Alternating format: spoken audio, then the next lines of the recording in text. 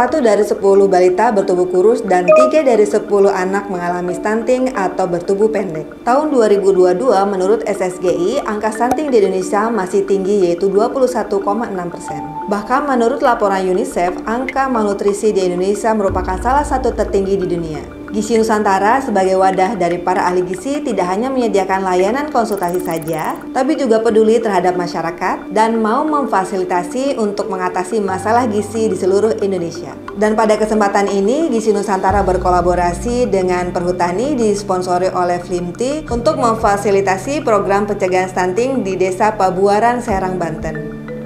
Kegiatan program stunting perhutani ini kami buat dalam rangka melaksanakan program pemerintah untuk menurunkan angka stunting di Indonesia. Melalui kegiatan tanggung jawab sosial dan lingkungan perhutani, program stunting kali ini kami laksanakan di Desa Pabuaran, Kecamatan Pabuaran, Kabupaten Serang, Provinsi Banten. Kegiatan ini adalah memberikan edukasi mengenai makanan padat gizi kepada wanita usia hingga 40 tahun yang tersebar di 8 posyandu.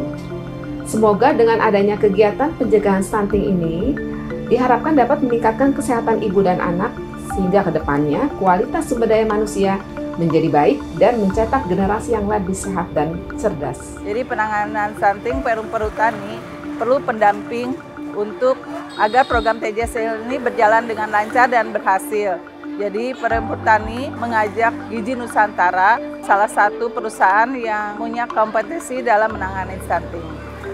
Harapan saya dengan ibu-ibu muda ini yang apa namanya yang calon menjadi ibu rumah tangga mari kita bersama-sama untuk mengatasi ke depan uh, permasalahan permasalahan ini ke depan biar uh, menjadi baik.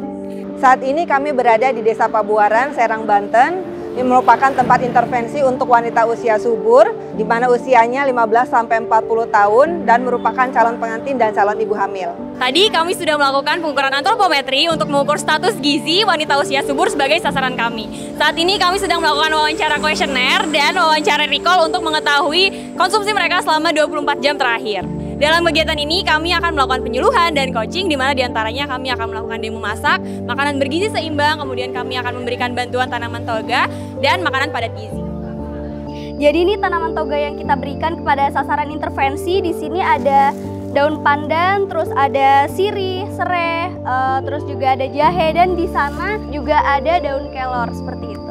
Jadi nasi itu dua per tiga ya. Satu per tiganya kita isi lauk pauk. Nah di sini ada lauk hewani dan boleh kita tambahkan tempe.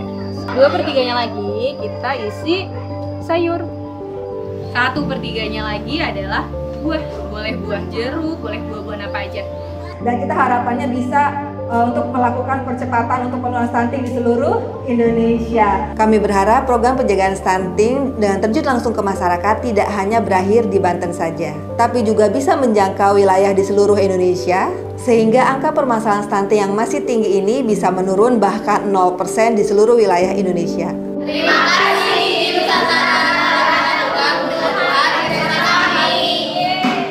Untuk seluruh pihak, mari kita dukung bangsa kita ini untuk semakin sehat dengan status gizi yang semakin baik.